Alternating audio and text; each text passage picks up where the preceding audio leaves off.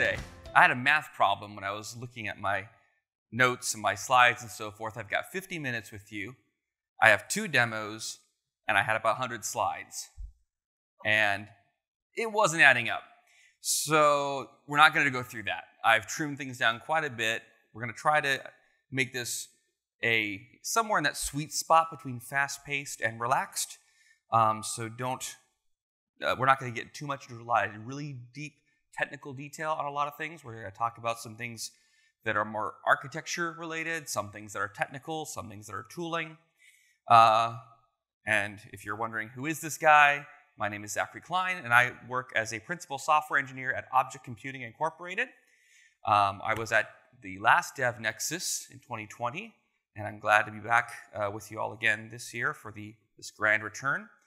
And I'm an open source contributor to a couple of uh, frameworks that our company sponsors. You can find me on Twitter, LinkedIn, and our website's there at the bottom. So let's jump right into it. So, single page apps and microservices. Not two terms that at least in my experience, are often bandied together and compared and contrasted. Um, but there is a method to my madness, so uh, stay with me. Uh, let's just define a single page app. And let me get a read of the room here, real quick. Uh, how many here um, work with JavaScript? Okay. Now, how about Java, the Java language? That's perfect. That's really who this talk is for. It's people who, who whether you're a front end developer who's moved to the back end or vice versa, You've got your feet kind of in both worlds, in the front end and the back end. Sometimes we call ourselves full stack developers. Uh, regardless, um, you probably have some familiarity, some familiarity with the concept, anyways, of a single page application. Typically, they're written in JavaScript. We use frameworks like React or Vue.js or Angular or whatever the new framework is this week. Did something happen to the screen there? Yeah, it did. Um, okay, so I just got to keep moving. Okay, good, good to know. Uh, I can't see what's happening over there, so someone wave if that happens again, because uh, it's completely out of my line of sight here. Um, so typically, these single-page applications, they run in your browser, or they could run natively through some framework like Electron. And by single page, it's a single bundle of JavaScript. It's a single view that can dynamically update, interacts with usually some sort of a REST API or some backend um, and I've already mentioned some, uh, some of those uh, more popular frameworks, and the ones that I'm personally familiar with are those big three. So we've, you can see a simple uh, React app with, created with the CLI. Now, microservices, on the other hand, aren't related to this at all. Microservices is a distributed architecture or, or pattern for backend development, for building web services, right? And typically, these services are independently buildable, deployable, they can be scaled independently. We hear terms like a bounded context, the idea that a microservice has a set of concerns, a set of data that it is interested in, that it controls, and that it exposes to the rest of the world. Separation of concerns, um, and then popular frameworks, at least in the Java ecosystem, which I think most of us uh, are in, would be obviously Spring Boot. Uh, we've heard a lot about Quarkus at this event, and also at uh, also Micronaut, which um, I was in a Micronaut talk a couple sessions ago. Um, now, Micronaut I'm gonna, that's just laid out here. I actually contribute to this framework. Um, and so this is my choice of a Java microservices framework. And so we will be talking about Micronaut in this talk. However, the principles, the ideas, I'm gonna keep them general. You don't need to know Micronaut to benefit from this talk, but you are gonna learn a bit about it, and I think uh, you'll like what you see.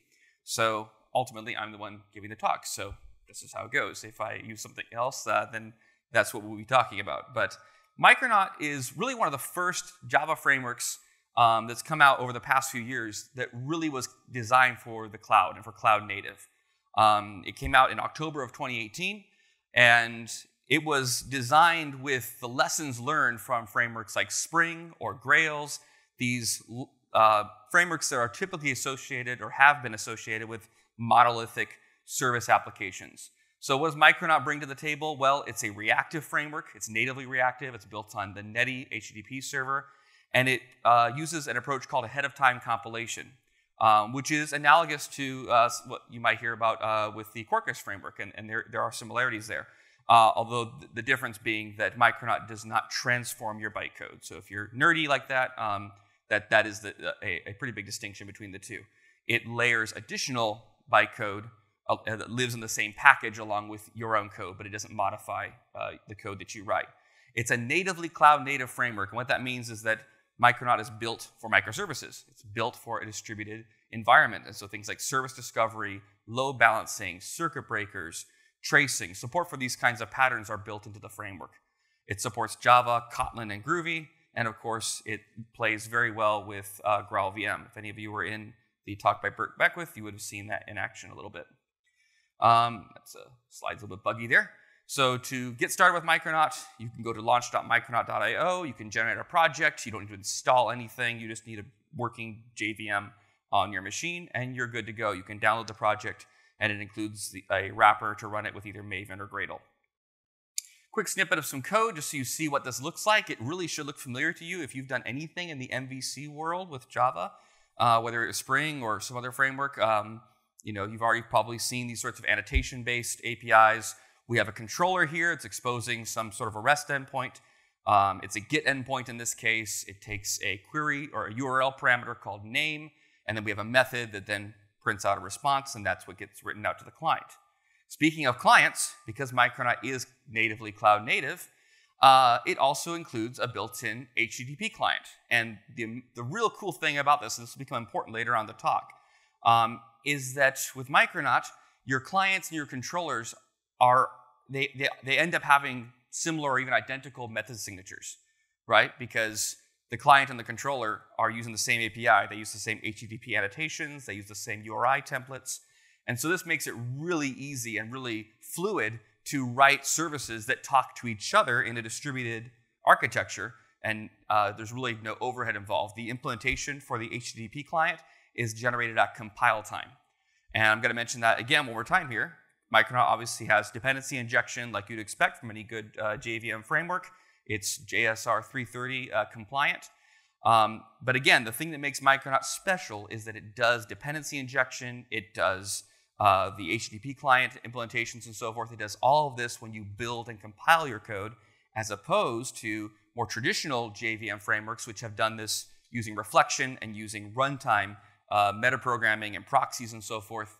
Uh, Micronaut does all this when you compile your code, and that means, for one, it um, has a much lower memory footprint, much faster startup time, and if you're interested in things like native image and GraalVM, which don't support reflection, or at least they don't support, it's, it's not very uh, straightforward, um, Micronaut applications don't have that.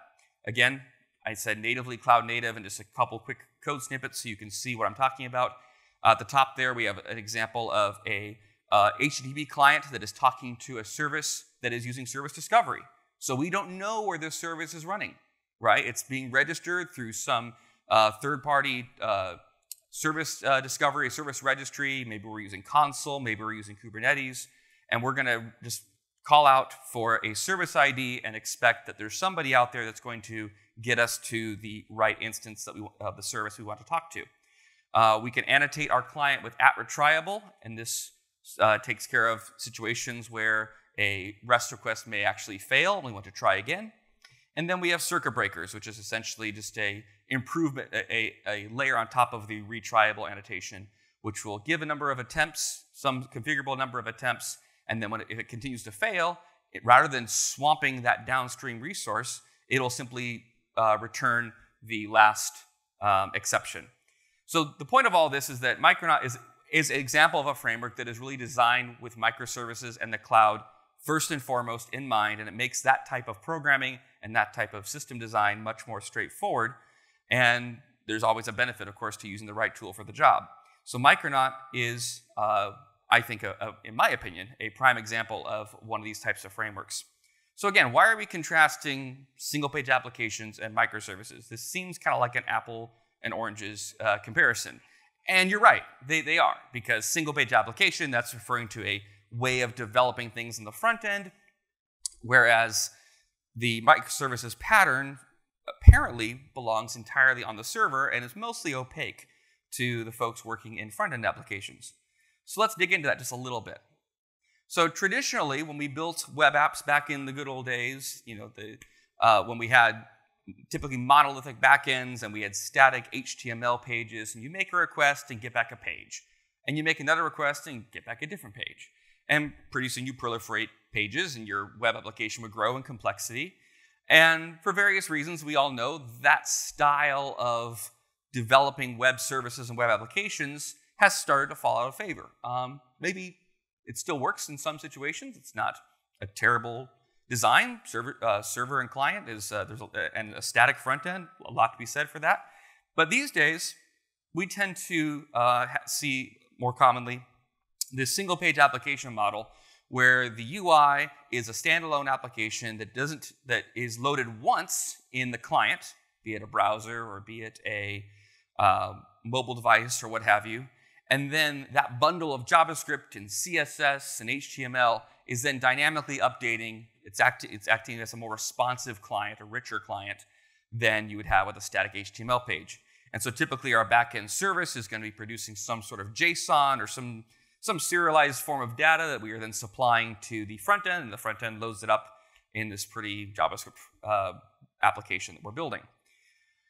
Now, we look at microservice architectures. One thing we should notice right away is that we don't really have a single monolithic backend anymore. We tend to have multiple services that, again, have this idea of a bounded context. They serve a particular set of, of concerns, they hold on to a particular set of data and they are orchestrated and they work together and they communicate with each other. Obviously, this is not an example of ideal microservice design, but you get the idea. It's more complicated than the single backend approach that we traditionally associate. And even today, if you pick up most single page application tutorials, there's just an API, there's just a server. It's, it's, a, it's a very straightforward front end, back end type of, um, of uh, situation. But reality can be a little more complicated.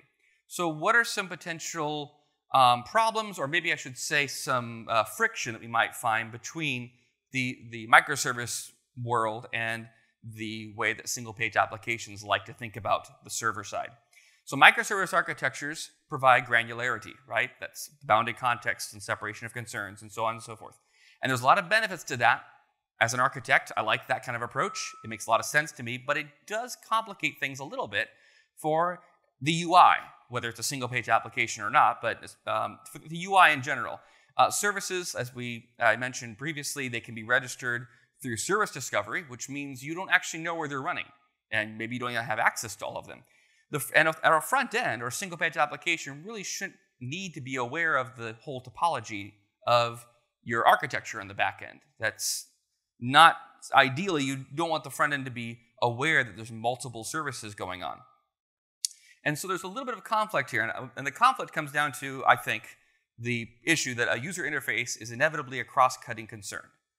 Users don't really care that you've got your customers over here and orders over there, and that organization of data and of uh, logic in your architecture has to come together at some point in order for the user to make use of it in a user interface like they expect.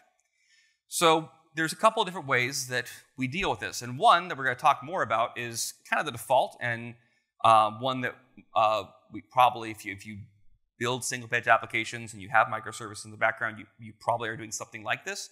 And then we're going to talk about a second approach, which is a little newer, um, that maybe you're not so familiar with and that I find pretty interesting. Uh, but before I go into the, the specifics, I just want to point out that these approaches all have trade offs. They're not mutually exclusive. You can do either or both of these things. And so you want to pick the best tool for the job, and it's going to vary depending on the type of application you're building and what you actually want to, uh, how you actually want to think about and reason about your user interface. So the first approach we're going to talk about, I'm calling just traditional REST uh, with an API gateway. And the API gateway could be, and we'll talk about this in detail, but it could be a third-party product or it could be your own application, your own service. I've done both approaches in my, in my own work. Um, so we're going to talk a bit about that and about some of the, uh, the techniques and, and, and tips that might be helpful when you're doing that. The other option is known as micro front ends. And this is a newer pattern. And this is interesting to me because going along with the theme of this talk, it's actually trying to bring, it's, it's actually suggesting that, single, that the front end and microservices aren't as separate as we might think they are, and that maybe the front end could benefit from some of the same principles of microservice design um, and that's where we come up with the idea of micro front ends. So we're going to talk most, uh, probably mostly about number one because it's a little more, little more established. But I do want to get, uh, get to uh, the second approach as well because I do find it very interesting. So let's talk about what is an API gateway. And I'm using that term in a generic sense here uh, because API gateway, it, it, can be a product name, right? I mean, Google has one, Amazon has one. So cloud providers will often uh, provide these sorts of API gateways that stand in front of your services and that proxy requests and provide various features. Um, however, that's not the only way you can do it. Um, so here's a, a, diagram from a, a, micro, a Microsoft sorry, um, uh, page that I found uh, helpful in just kind of visualizing this. We have an API gateway. It comes between the client and the client application thinks it's just communicating with a single server potentially. And in reality, of course, those requests are being forwarded on to the relevant services that need to handle them.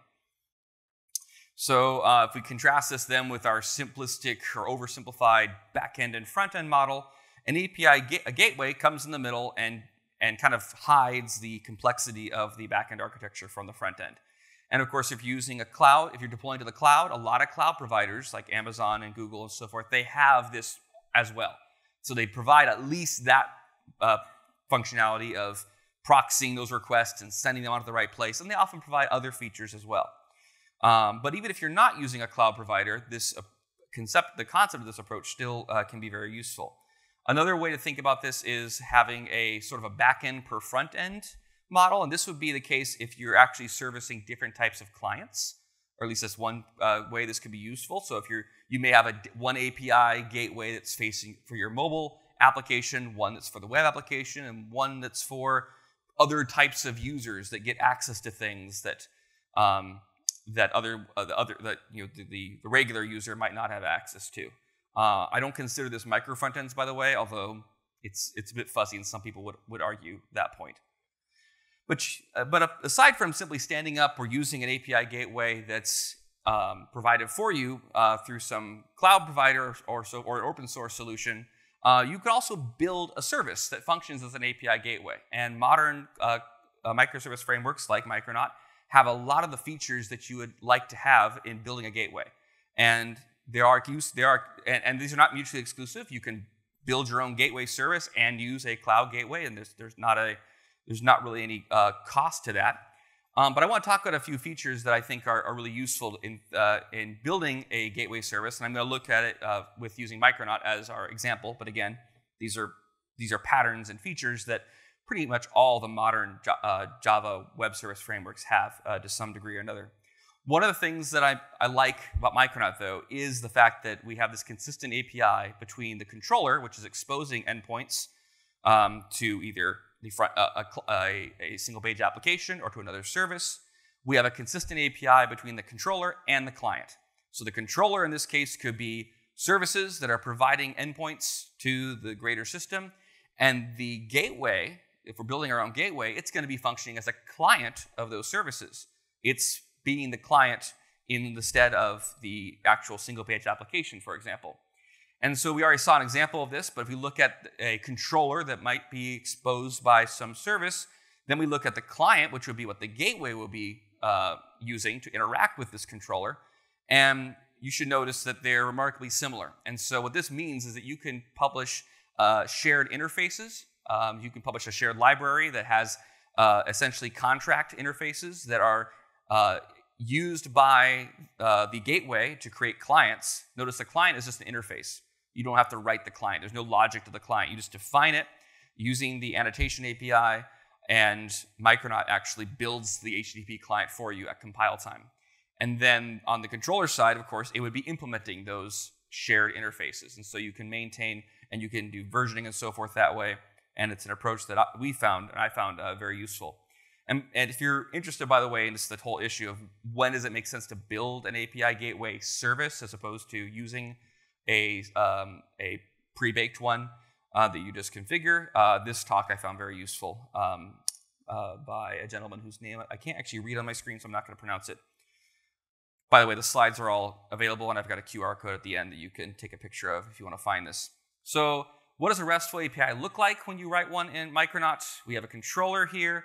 Uh, it's annotated with uh, at controller and slash book, so that's going to be its root URI. And then we have all these sorts of CRUD type methods that you'd expect. So we can post a new uh, uh record to our API, we can update an existing one, we can delete, we can get, and we can annotate with at transactional if we want to express to the framework that this is a transactional um, action that we're taking. And all of this is, again, computed at compilation time, which is a real game changer when it comes to building lightweight microservices that uh, do not uh, have a steady increase in their memory consumption as they as they grow in complexity because the additional complexity you're going to pay that cost at compilation time not at runtime the framework does not have to do this uh, uh, does not have to create these uh, these controllers and and add the overlays of, framework features and so forth at runtime for every class every method every field all of that logic is done when the application is compiled so we've seen examples of the routes uh, that, you, that you have with the, the various HTTP annotations.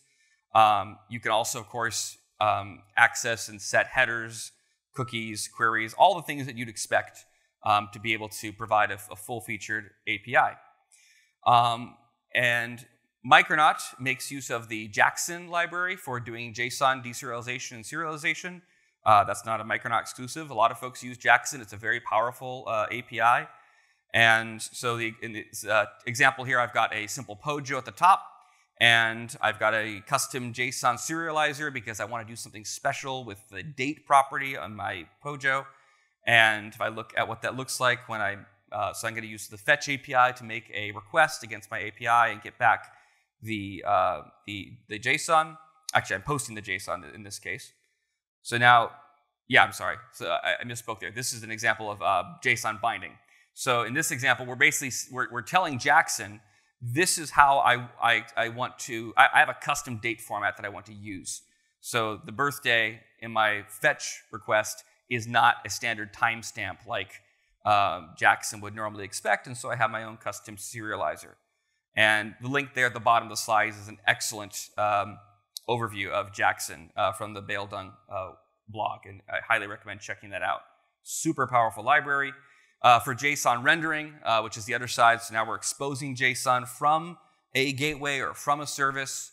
Uh, we can use, uh, th there's all sorts of annotations you can use to customize the default rendering. When you render out a, a POJO um, in Micronaut and a lot of these microservice frameworks, you're, you're, going to essentially get you know, key value matching the structure of your POJO. That's just a very common way of doing this. Uh, and, and Jackson behaves the same way, but it's very e easy and straightforward to um, uh, manipulate how that data actually uh, is rendered. So in this particular case, we're renaming uh, the title property, we're calling it name, and we're also telling Jackson to ignore a couple of persistence related properties, ID and version. So we don't want to show that to our user. When you're uh, building, obviously, a single page application, you're talking to an, a, a, server, whether it be a gateway or just a simple backend. You're going to want to make sure you have CORS enabled on your backend because browsers don't actually like it when front ends talk to, when a web application talks to another server. That's considered a security risk. And so that's something that typically has to be allowed uh, by the server. There's a special header that's included. Um, it's a solved problem. Every framework has a, a, pretty straightforward solution for it. You can see how we enable it in Micronaut right there. Another cool thing that uh, API gateways uh, tend to off offer is API documentation. And uh, typically, this is done with uh, specifications like OpenAPI. And OpenAPI essentially gives you a, a YAML uh, description of your API, all the various endpoints, and what the response body looks like, what the request body should look like. And then there's tools like Swagger that can turn this YAML spec into a really impressive interactive HTML um, uh, uh, documentation website, which you can host on your gateway or you can host it somewhere else. Um, Micronaut can actually generate this for you, including the HTML, so you can actually uh, enable this and host your own interactive API documentation uh, on your own uh, on, on, your own server on your own gateway. And we'll see uh, that in the in the demo here shortly. Another thing to think about uh, when it comes to gateways is API versioning. So uh, typically, when we expose an API and then we have clients that now implement it and now depend on it, then if we want to make changes to the API, we don't want to break everything for our client. And so typically what you'll do is you'll version the API so that a, so that a new so that the, the two versions can essentially ex- exist side by side. So you can have a V1 of your API, a V2 of your API, and then when the front end team is ready, they can switch from one to the other, and you can have um, multiple versions running in parallel without any trouble. Um, again, very easy to do with Micronaut. There's a dedicated annotation for it, um, and this is this can be set in configuration as well. And the the version annotation there can also be used on Micronaut's client um, uh, interfaces as well, so you can uh, control what version you're speaking to uh, with when you're doing inter-service calls. By default is pretty much standard. Uh, you're usually going to use a, a, HTTP header like XAPI version to indicate what version of the API you intend to use. And then uh, for security, um, I, typically when you're doing single page applications, you're writing uh, these dynamic front end apps. Uh, the most common uh, security model uh, that I see used and I've used myself is stateless security, and that usually revolves around the JSON Web Token, JWT, or JOT, I guess some people call it. Uh, it's a standard for representing claims, and so it doesn't have to be used for security. Uh, I've used JWT for lots of non-security related things. It's just a handy way of, of representing uh, data in a very standard way between two parties. These tokens can be signed, and they form the backbone of the stateless authentication model. And we're not going to walk through that all in detail here. Uh, the main point is that everything that the server needs to know about the client, about it, the username, the, the roles, you know, the identity, and the authorization that this client has, it's all stored in the token. So when we say stateless, what we mean is that the server does not storing any information about the user session. There is no, there's not, not really the concept of a session when you're doing stateless security. Um, and so this is, of course, used for uh, OAuth authentication uh, uh, very commonly. Uh, you can also do it standalone if you're just if you are your own security, uh, your own authorization server. Um, and uh, Micronaut has a security library that makes this really easy to set up. And then there's an annotation-based API where you can secure either an entire controller or an individual method or endpoint in the controller. So it's very similar to Spring Security. In fact, it's essentially the same API if you're using the annotations. And then there's also a way to set it through configuration as well. Uh, we'll see an example of this again in the demo, so I'm not going to belabor the point. There's a lot of really excellent guides on setting up Micronauts with uh, various OAuth, OAuth 2 providers like Google, GitHub, Okta, and so forth. So that's something that I recommend you check out. Um, and the, the, the guides are excellent because they are full feature tutorials that give you a beginning state and an end state and all the steps in between. And they're available in all the various languages and build tools that Micronaut supports. So you can, you can read the Java language version with Maven and the Kotlin version with Gradle, and it's the exact same steps, the same applications. Related to uh, security and JWT is this idea of token propagation, and this uh, becomes important uh, because if, if you are practicing sort of a no trust security model where the services all require authentication, uh, you want to make sure that they're able to share those access tokens, those JWTs that you're generating, so you can secure your request as it goes through multiple services in your architecture. Some folks don't do this. Sometimes uh, we'll design a system where we say everything's behind a, a virtual private network, or uh, not virtual private network, not in a VPN, but you know, uh, the term escapes me, but in sort of like a VPC, I think it is um, where the services can't be accessed externally. And that's great. Um, but there are times where it just makes sense to enable security on all of your services, and token propagation makes that possible, where the framework essentially includes that token with, within every internal request. So you call out to the gateway, the gateway with an access token, the gateway then calls service A, it passes along the access token. Service A then wants to call service B, it passes along the access token, and this is what we mean by token uh, propagation. Typically, it's in, embedded in a header. Uh, it could also be stored as a cookie. Um, and then uh, the services then will specify what other services they share their tokens with. Um, this can be used for security. It can also be used for multi-tenancy, and we're going to see that uh, in the demo here in just a few minutes. Um, so this is how you enable it in, uh, in, in Micronaut. Uh, it's very straightforward. You just basically turn it on. Um, and then this diagram here uh, basically makes the same point I was making. So this is uh, a very common uh, uh, feature that we make quite a bit of use of when dealing with microservice architectures in general. And it's definitely something that makes life easier for a front end in a single page application. So let's take a look at a demo here. And I'm realizing that my screen is probably not, there we go.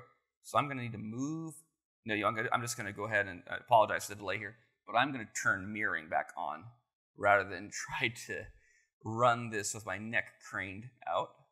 So I'm gonna go ahead and mirror. Decimator, okay, that's the name of the projector. Okay. That's a little bit aggressive, if you ask me, but all right. Um,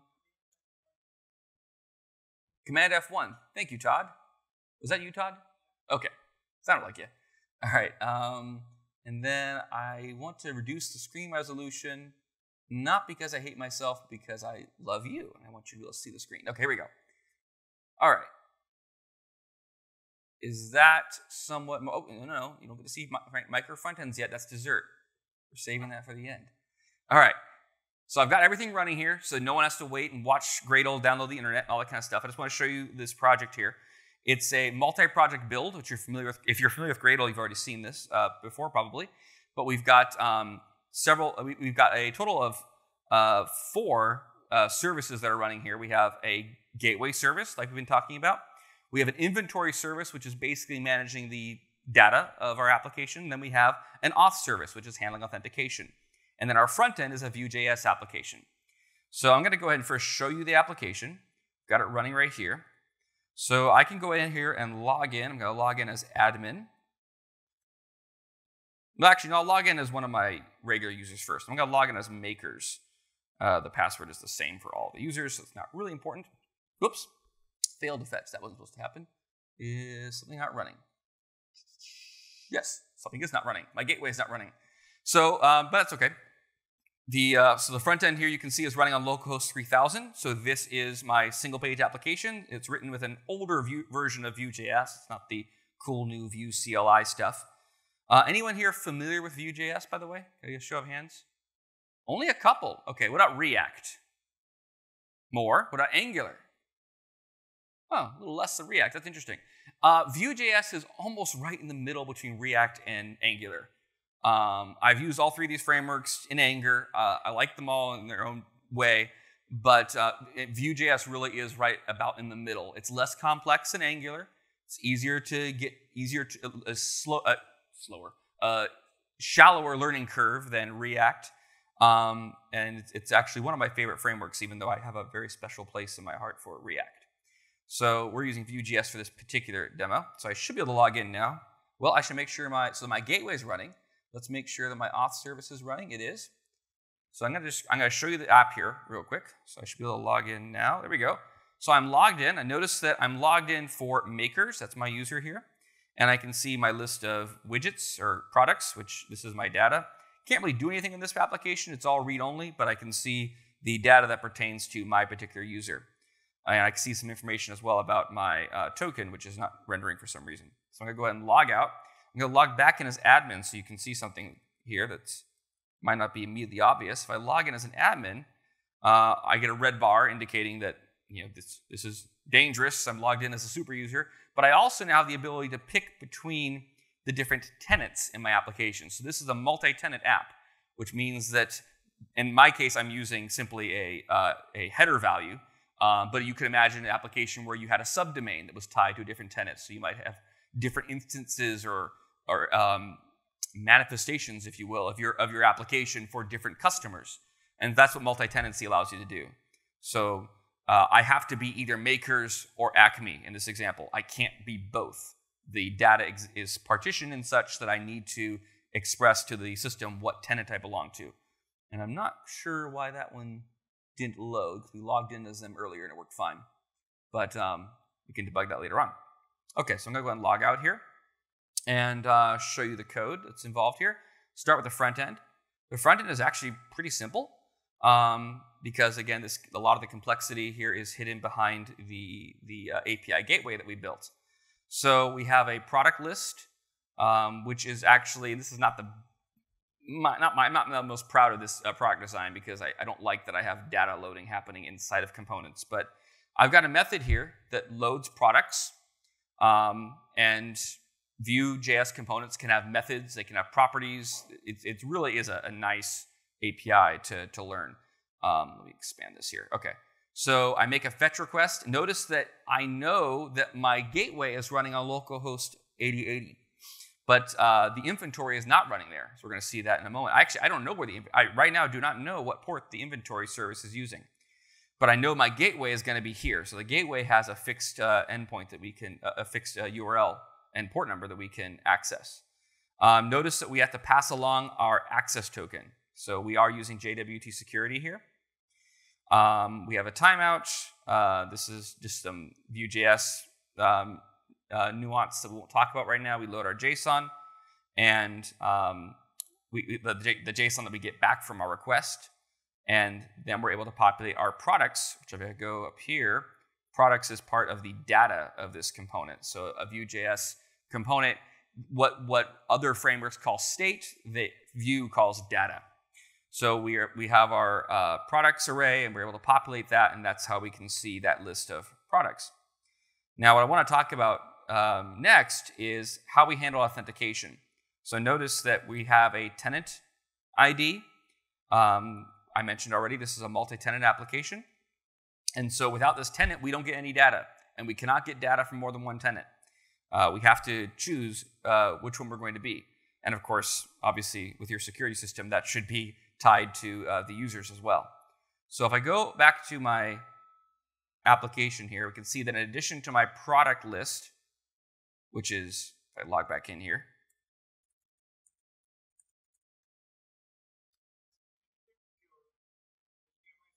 Oh, is that what's going on?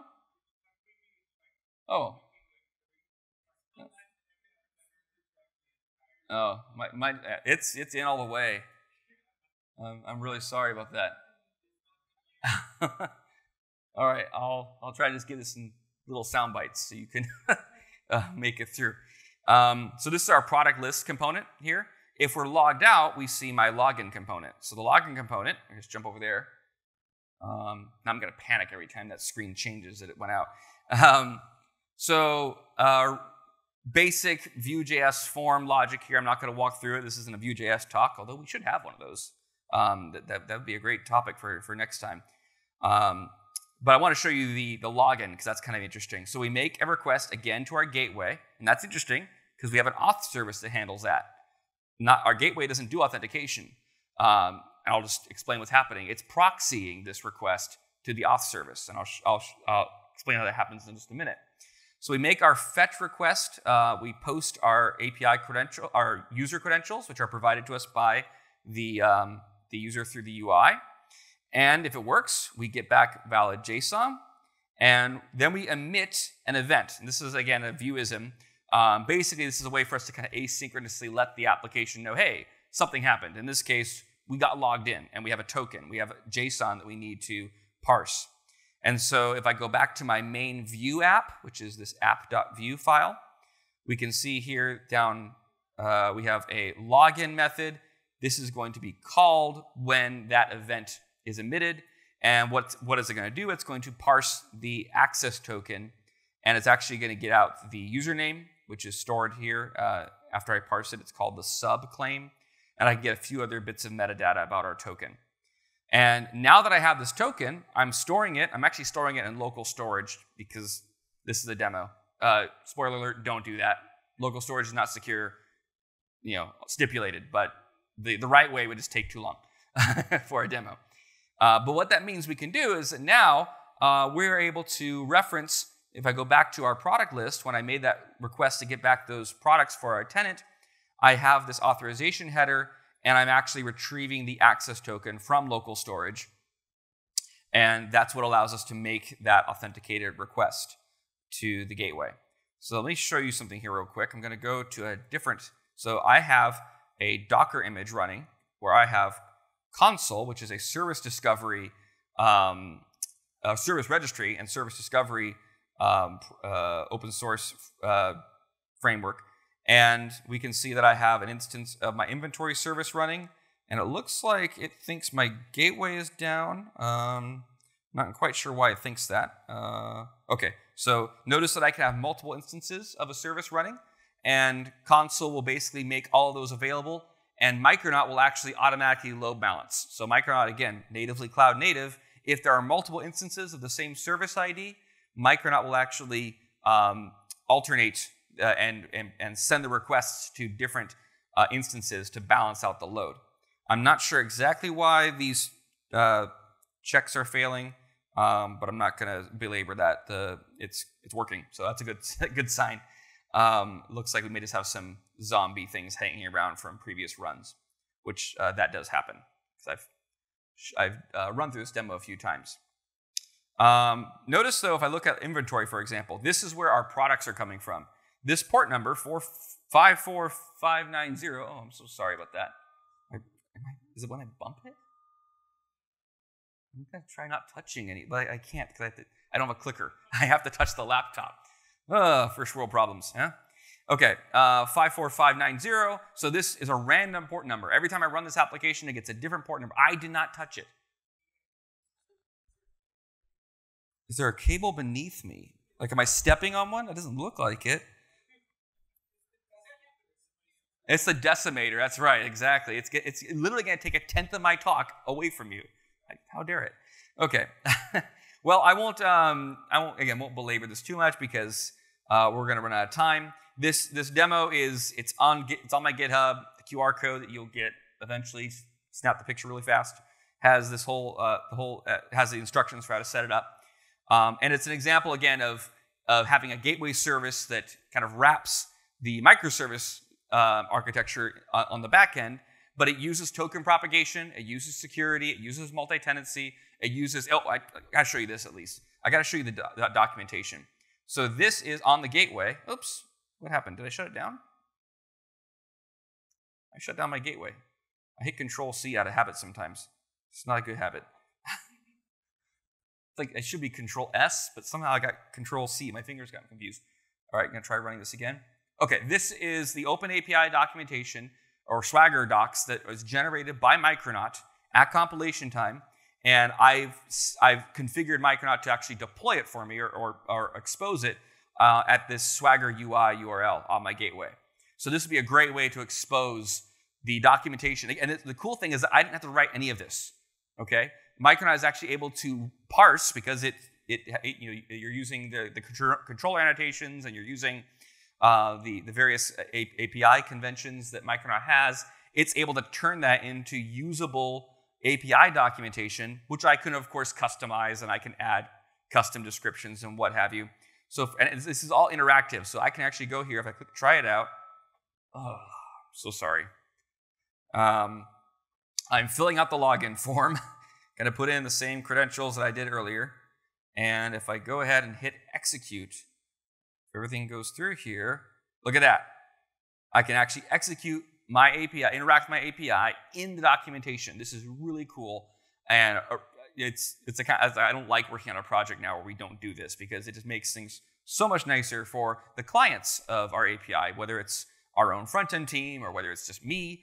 Um, it's just a really helpful way to, to document. And again, this documentation, it, it, doesn't go out of date because it's being generated from your code, uh, which is also really cool. And I could then use this access token, and I won't, but I could use it to then authenticate myself for these other requests that require um, an authentication token, an access token. Okay, I'm going to uh, jump out of here and wrap up uh, so we can talk about micro front ends real quick. So let's see here, micro front ends. This is the so I mentioned the gateway approach. That's it's honestly for most single page applications, it's not a groundbreaking um, you know, way, of thinking. It's kind of what you end up doing automatically because the microservice uh, architecture is usually opaque. It's behind either a cloud gateway or a gateway service. Um, but micro frontends are, is a different way of approaching the same problem. And I'm just going to skip over this. There's a great martinfowler.com uh, article uh, describing the pattern. Um, Spotify is probably one of the most popular applications that is known for using micro frontends. So the Spotify UI is made of multiple single page applications. There's one that is your friends list, and one's the library, and one is the player. They're all standalone single page applications, and if you're clever, you could probably figure out how to get to them on their own. and they're all put together. Now, Spotify, they cheat. They just use iframes, which I think is the, the least cool way of uh, doing micro front ends, but it, it is a, a, way it's done. Um, so this is, again, some images from the Martin Fowler uh, uh, article, which I recommend you read. And again, the, I mentioned this at the beginning, the idea of micro front ends is to bring some of the lessons learned in microservices and actually help the front end folks benefit from this. And it's a new pattern, and I think it remains to be seen how successful it's going to be, but it's very interesting. And I have a, I have a demo of it that I'll show you, even though I can't walk through it all uh, right now. Yeah.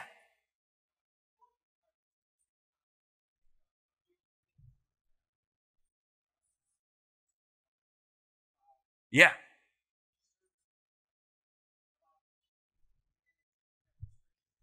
That's that's what this diagram is. was to show. So yeah, you, you just, uh, just listen to what Todd said. Um, that's great because that's absolutely right. The, the, again, I mentioned at the beginning that the, the user interface other it tends to be a cross-cutting concern because we've got one front end team that deals with everything, and you might have multiple back end teams that are developing and deploying and scaling these independent services. But the front end folks are essentially still in monolith land. Um, and so Micro front ends, I would say it's, it's a new pattern, and it's kind of an experiment in a way to see if, if this, these idea of, the ideas of a bounded context and separation of concerns, can we organize our front ends like we started to do with our service, uh, our microservice uh, uh, pattern? So that's the idea. It allows you to have independent teams that develop these single page applications for their particular stack of the system. Um, it kind of encourages you to think in terms of a vertical slice uh, within your architecture. Um, and you really want to avoid tying those together um, at least you know if there if there do have to be elements of commonality between micro front ends you should have some mechanism of sharing those assets those resources that doesn't involve there being like the styling team that does css for everybody um, you want to find uh, and, and, again this is a, a, it's an architectural pattern there's not one way it's done but these are some things to be thinking about um, I'm going to skip over this a little bit. So, if we look at our traditional API gateway approach, which really isn't that much different than just client and server, um, even though there's complexity under the hood. Um, the micro front-end approach gives you independent single page applications that deal with their own slice of your, your microservices architecture. And you, you could even use different frameworks. Um, but what gets really, because this on its own is just separate single page applications. What makes micro front ends really interesting, at least for me, is when we take them together and we compose them and make literally a single application out of multiple single page applications, which is a little bit, uh, a little bit um, mind bending. Uh, there's a few different ways of doing it.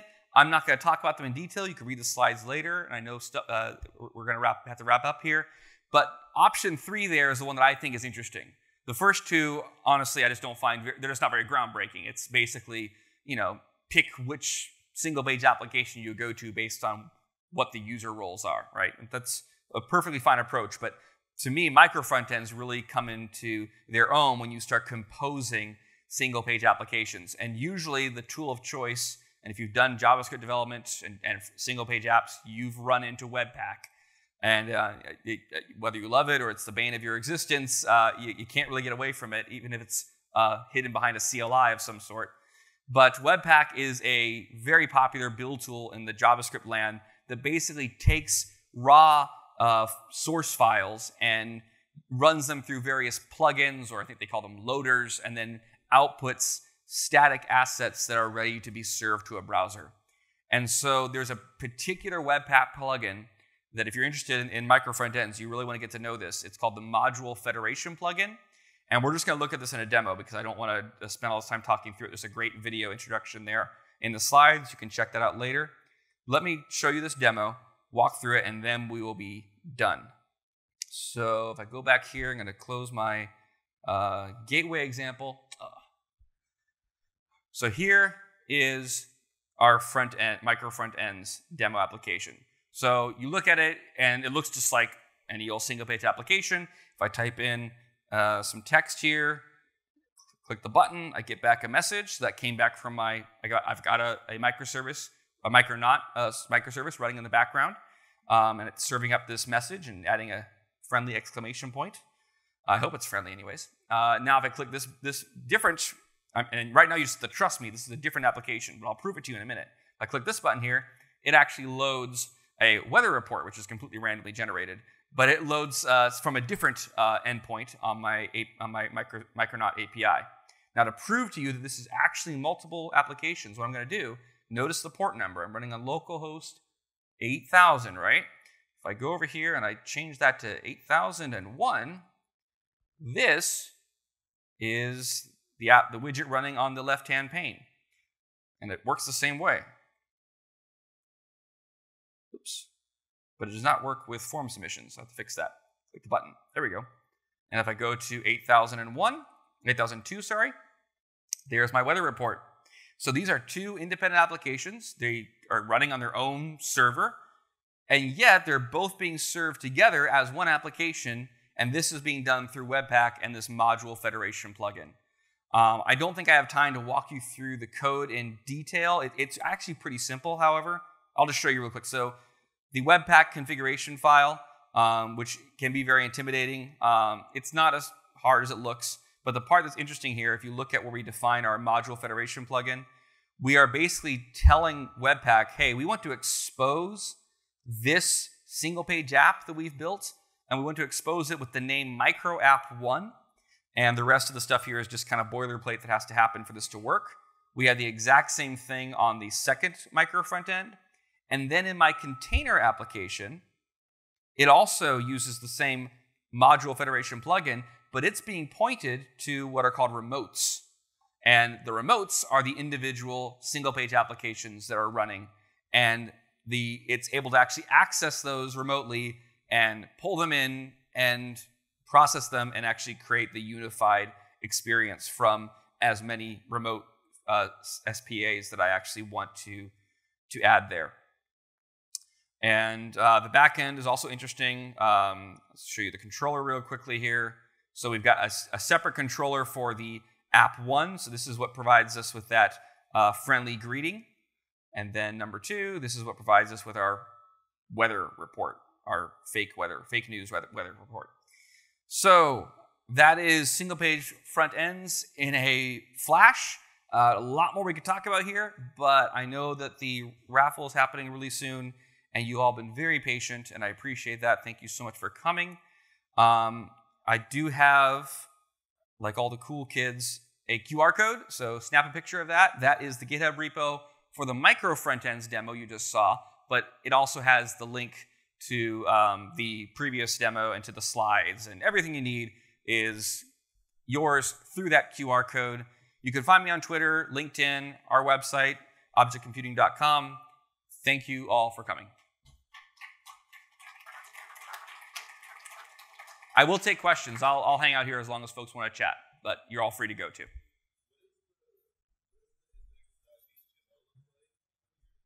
Yeah, we can look at that.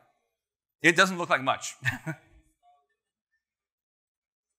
yeah, yeah. See, if I had more time, I would have talked through this. So the container is the key.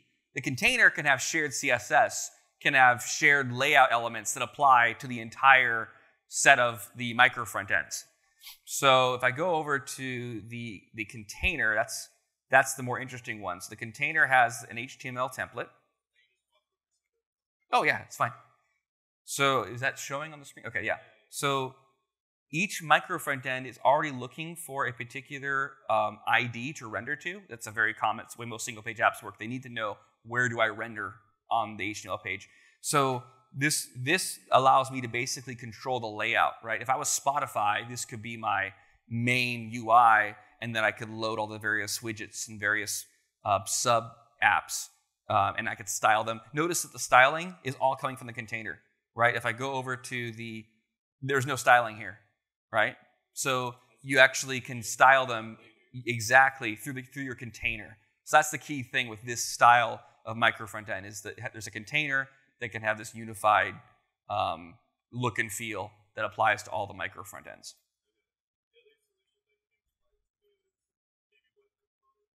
Yeah, web components are like, eh, they're, they're, they're messy. They're always on the verge of becoming the next big thing, but they never seem to get there. Uh, Yeah, yeah, I know. I, I follow them loosely for that is so annoying. I'm really bummed out that projector. You do? Okay. All right, that's cool.